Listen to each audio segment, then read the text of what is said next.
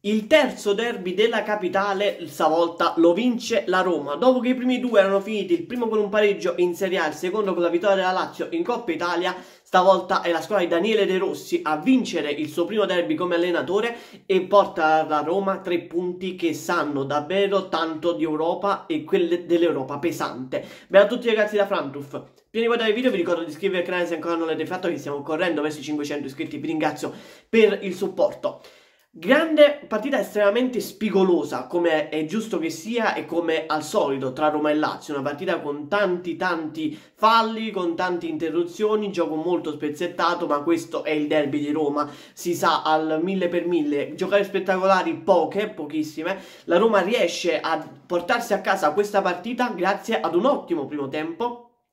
e secondo me grazie anche a qualche errore di formazione da parte di Tudor che si è presentato in campo con una formazione titolare a mio avviso sbagliata e, e si è visto sin da subito perché si è visto poi la differenza quando Tudor ha fatto i cambi nel secondo tempo perché è un qualcosa che è stato talmente tanto palese che la Lazio avesse delle difficoltà nel primo tempo che è stato praticamente uh, per tutto il primo tempo messo in grandissima difficoltà dalla Roma che ha creato di più, ha avuto più occasioni è riuscita a passare in vantaggio vantaggio grazie al colpo di testa di Gianluca Mancini da calcio d'angolo, perché questa partita si poteva sbloccare in qualche modo solamente da calcio d'angolo, perché azioni belle, pericolose ce ne sono state ben poche. La Lazio ha rischiato più che altro nel primo tempo di farsi più che, più che, subire il gol della Roma, quasi di farsi autogol, prima con Casale e poi con Chila, ma poi la Roma è riuscita comunque a passare in vantaggio, a mio avviso in maniera meritata con Gianluca Mancini. Nel secondo tempo una Lazio sicuramente messa in campo meglio, che ha, uh, che ha cercato sicuramente, che ha messo in difficoltà la Roma, ha creato le sue occasioni,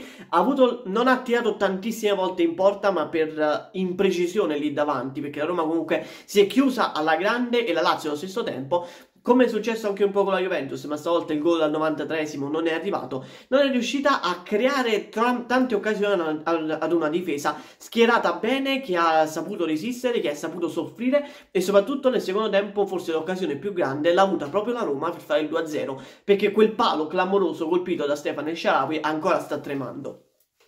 Per il resto una Lazio sicuramente più compatta nel secondo tempo che ha messo sotto la Roma, che ha chiuso la Roma all'interno della propria metà campo, con Castellano secondo me che ha fatto molto meglio rispetto a Ciro Immobile che ha avuto una grande occasione nel primo tempo ma che non è riuscito a sfruttare, è entrato Pedro, è entrato Patrick che hanno dato sicuramente spessore e anche dal punto di vista diciamo della cattiveria agonistica qualcosina in più alla Lazio che invece nel primo tempo sembrava troppo troppo smorta, ha dato, hanno dato una differenza enorme dentro il campo, però lì davanti la Lazio ha avuto come uh, in tutto l'anno estrema difficoltà ad avere uh, una continuità lì davanti a fare gol. Perché quando manca Ciro Immobile che quest'anno è mancato tantissimo alla Lazio e che probabilmente la Lazio non può più contare ormai sul suo capitano sul suo giocatore simbolo di queste ultime stagioni perché quest'anno è stata un, un'annata estremamente negativa per Ciro Immobile che ha confermato secondo me queste, uh, queste problematiche anche nella partita di oggi. Non è più il Ciro Immobile che conosciamo che abbiamo abbiamo saputo anche uh, apprezzare nella sua uh,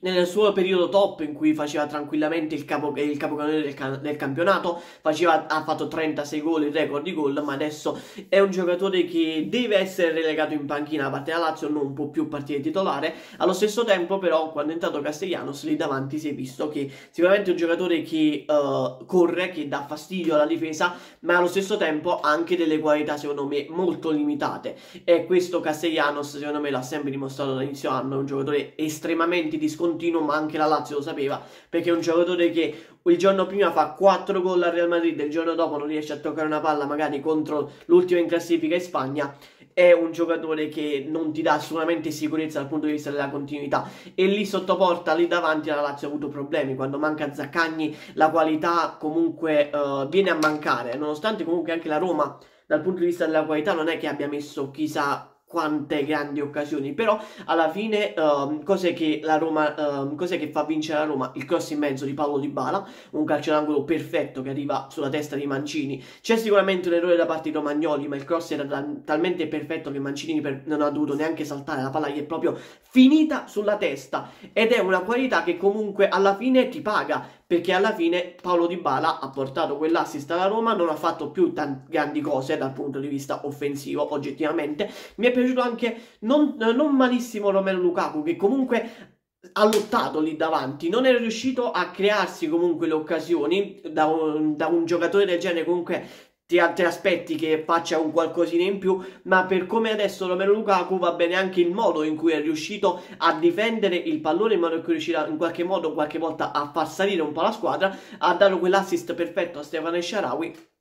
per il resto, uh, questo Romero Lukaku non è il Lukaku al 100% che abbiamo visto con l'Inter e si vede profondamente. Per il resto, una Roma che, come detto, in fase difensiva si è riuscita a compattare alla grandissima, con Svilar che non ha dovuto fare praticamente nessun intervento. Uh, se non mi sbaglio, la Lazio ha fatto solamente un tiro in porta, ma molto facile da parare per svilare. Per il resto, poca poca roba. Una Lazio che, come detto, si è dimostrata per l'ennesima volta inconcludente e che in questi anni, con uh, allo stesso tempo, la Lazio quest'anno non è che gli è mancato solamente uh, Milinkovic-Savic dall'inizio dell'anno con la vendita di Milinkovic-Savic, ma è mancato anche lì davanti l'apporto di un vero attaccante, perché se negli anni scorsi, come detto prima, Immobile aveva fatto il fenomeno, quest'anno uh, Ciro Immobile invece ha, uh, diciamo che non ha assolutamente performato come gli altri anni e lo si vede praticamente ogni domenica, ogni volta che Ciro Immobile va in campo, è stata pessima la prestazione in Coppa Italia contro la Juventus e oggi è stato praticamente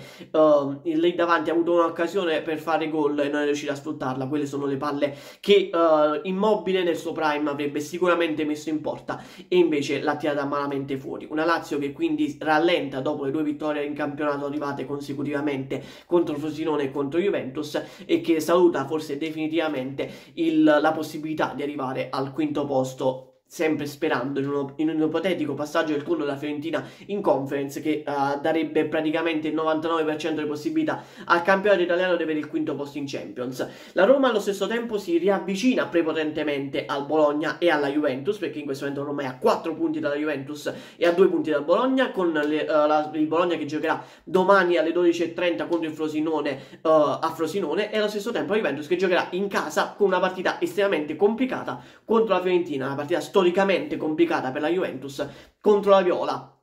che sicuramente non vorrà tralasciare nulla, visto che eh, in questo momento la Fiorentina è al decimo posto, non è assolutamente una posizione che la Fiorentina merita in questo momento di occupare. Il derby quindi lo vince la Roma, a mio avviso in maniera militata, perché ha saputo uh, capire perfettamente De Rossi i momenti della partita, è riuscita a passare in vantaggio nel primo tempo quando stava giocando meglio ed è riuscita comunque a soffrire anche con un po' di fortuna perché serve comunque, anche come ho detto praticamente sempre, serve anche un po' di fortuna per arrivare a questi risultati. La, la Roma alla fine anche con la fortuna è riuscita a vincere questa partita nel secondo tempo soffrendo e ha portato a casa tre punti che in questo momento pesano come un macigno. La prossima la Roma avrà una partita complicata a Udine contro l'Udinese, allo stesso tempo la Lazio in questo momento deve pensare magari anche ad aggiungere un'Europa League che a questo punto della stagione non sarebbe assolutamente da buttare. Fatemi sapere nei commenti un po' voi cosa ne pensate della partita, non ci sono state neanche troppe, a parte qualche rissa che però è all'ordine del giorno nei derby, per, quindi non ci sono stati